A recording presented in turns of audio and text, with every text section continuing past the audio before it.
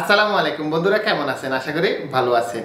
আজকে আপনাদের সাথে শেয়ার করব অনলাইনে আপনারা খুব সহজে দাগ নাম্বার, নাম দিয়ে ফরসার কিংবা আপনার দাদা, বাবা, নানা, তাদের নামে কোনো সম্পত্তি রয়েছে কিনা, অন্য কেউ ভোগ করতেছে কিনা, তাদের নামে যদি সম্পত্তি থেকে থাকে সেই সম্পত্তি মালিকানা আপনারা যাচাই করতে পারবেন খুব সহজেই। এই জন্য আপনাদেরকে একটি ব্রাউজার সিলেক্ট করতে হবে। আমি আমার ক্রোম ব্রাউজারটি সিলেক্ট করলাম।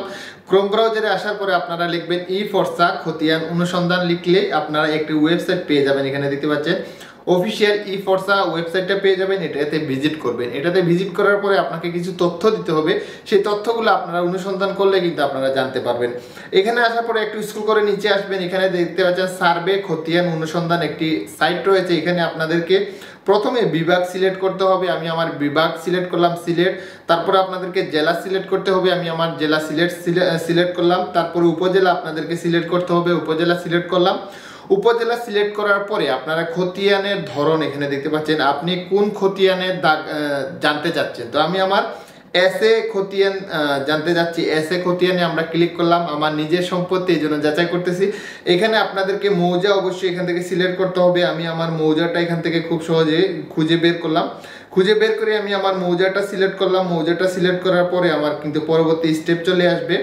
তো আমি আমার মৌজাটা সিলেক্ট করলাম। মৌজাটা সিলেক্ট করার পর এখানে দেখতে পাচ্ছেন খতিয়ানের তালিকা।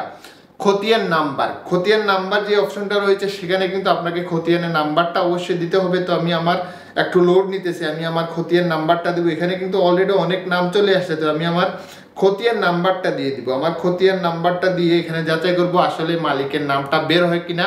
আমি যে জায়গাটা কিনেছি, যে মালিকের নাম, সেটা অনলাইনে রয়েছে কিনা, আদৌ কি সেই মালিকের সম্পত্তি কিনা। তো এখানে দেখতে পাচ্ছেন আমি কিন্তু আমার খতিয়ান নাম্বারটা দিয়ে যাচাই করলাম। এখানে দেখতে পাচ্ছেন আমার ডিটেলটা চলে আসছে, সোয়াদ আলী আব্দুল মজিদ। তো অলরেডি আমার খতিয়ান নাম্বার দিয়ে কিন্তু আমি আমার মালিকানা যাচাই করতে পেরেছি। আপনারা সম্পত্তি ক্রয় বা বিক্রয় করার ক্ষেত্রে এটা যাচাই করতে পারবেন খুব সহজেই। তারপরে যদি আপনাদের কোনো সমস্যা কিংবা প্রশ্ন থেকে থাকে, আমাদেরকে জানাতে পারেন। আমরা চেষ্টা করব সেটা সমাধান করার জন্য। ধন্যবাদ, আসসালামু আলাইকুম।